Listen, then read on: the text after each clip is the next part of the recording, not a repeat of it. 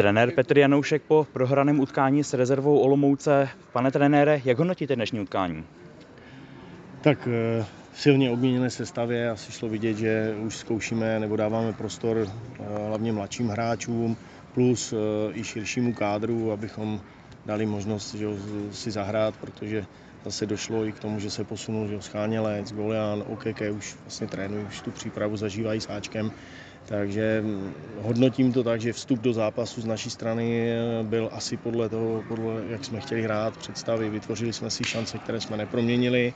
Ve druhém poločase se nám možná Eh, až to vyhodnotím zpětně, nedařilo až tak soupeře přehrávat ve středu pole a ty situace si vytvářet víc, abychom skorovali. Co tomu tedy chybělo hlavně? Já si myslím, že eh, větší kvalita, klid, větší kvalita vlastně ve finální fázi a samotné zakončení těch střel zase v druhém poločase nebylo moc. Eh, první poločas byl fotbalový, druhý poločas už zase byly fáze, kdy jsme nedokázali tak efektivně kombinovat a vytvořit si vlastně nějakou výraznou slibnou situaci na promění. Ve druhém poločase byl nuceně střídán stoper Dalibor Večerka. Co se mu stalo? Neviděl jsem žádný zákrok. E, zabolelo ho trošičku ve svalu a je mu špatně, takže nevíme, jestli to je nějakého chřipkového nebo unavového syndromu něco, nevíme. No, není, není v pohodě, takže raději jsme ho stáhli, aby nedošlo k něčemu vážnějšímu.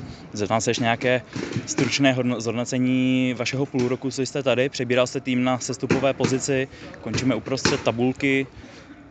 Tak e, není to úplně uprostřed tabulky, myslím si, že výsledkově jsme se posunuli, že jsme dokázali opravdu to, co jsem před sezónou nějakým způsobem avizoval s mladými hráči, se přizpůsobit tomu dravému mladému stylu, že se nám podařilo prosadit, uhrát i velmi cené výsledky s Líšní, s Karvinou, s Varsdorfem a vlastně z těch sestupového pásma krok po kručku se vyšplhat nahoru. Myslím si, že Duben byl vydařený měsíc, eh, teď v květnu už to nebylo tak vydařené, ale zase dostalo prostor více hráčů, což asi vzhledem k nadcházející další sezóně určitě pro ty kluky je zajímavé.